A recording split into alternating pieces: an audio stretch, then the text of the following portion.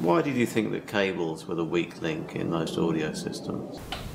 Every component from the beginning to the end can uh, only distort, take away, modify, and effectively ruin the signal.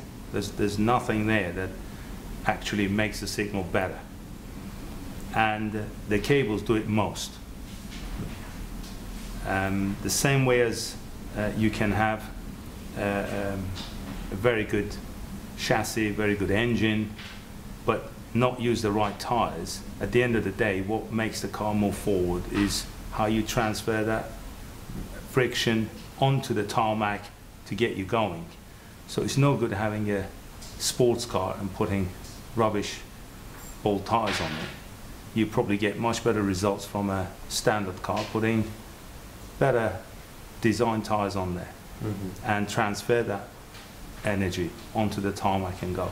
With systems, um, due to the nature of the fact that the, the signal is actually leaving one unit and is then connected to another unit, you not only have the properties of the cable that are there, every interference that could be airborne, could be signal borne, could be on the ground lines, everything can come in. And that will then eventually will take uh, uh, away from the signal or distort it or modify it. And the least you take away from the signal, the least you modify the signal, and the least you distort the signal, the most music you're going to get.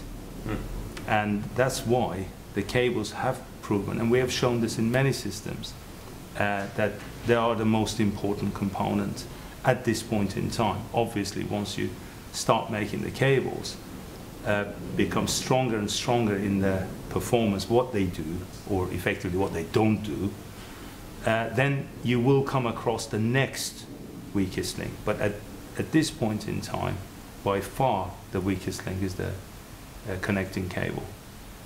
Was that what in- inspired you to start Vertere? Um, yes, I mean it wasn't so much an inspiration; it just became uh, inevitable because when the uh, clients uh, experienced their systems using the handbuilt pulse, they wanted some for their systems. And although you can do a a few here, a few there for special clients, uh, as the demand grows, you, you have to put this into some kind of a production where the, the, the product, products are all consistent, they're performing to, to the correct standards, the components are made properly, and also it will give us a better platform to improve things and get the best that we make better and derive products from those, understand what are the most important parameters and uh, can we actually down engineer it so that everybody can benefit from this. Hmm.